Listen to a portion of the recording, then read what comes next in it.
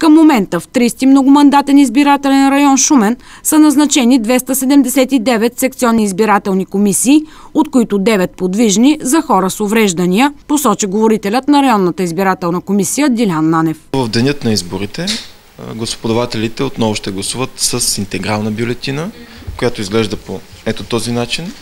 Това е принтираният образец на бюлетините. Господавателят ще трябва в лявата част на бюлетината да отбележи гласа си по отношение на това за коя партия или коалиция гласува, а в дясната част на бюлетината, ако е избрал свой кандидат от листата на конкретната партия, може да отбележи преференция.